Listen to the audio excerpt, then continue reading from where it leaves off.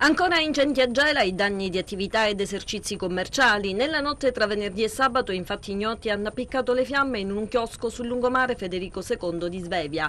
Distrutte sedie e tavolini lasciati all'esterno della struttura. Sul posto oltre ai vigili del fuoco sono intervenuti anche i carabinieri della radiomobile. Sempre a Gela i poliziotti del locale commissariato in questi giorni nell'ambito dell'attività di prevenzione e repressione dei reati in genere hanno tratto in arresto in attuazione a un provvedimento di esecuzione pene concorrenti emesso dalla Procura della della Repubblica del Tribunale il 28enne Carmelo Daniele Lizio, che dovrà scontare la pena della reclusione in carcere di tre anni, due mesi e 24 giorni per reati contro il patrimonio, resistenza e oltraggio a pubblico ufficiale, spaccio di sostanze stupefacenti.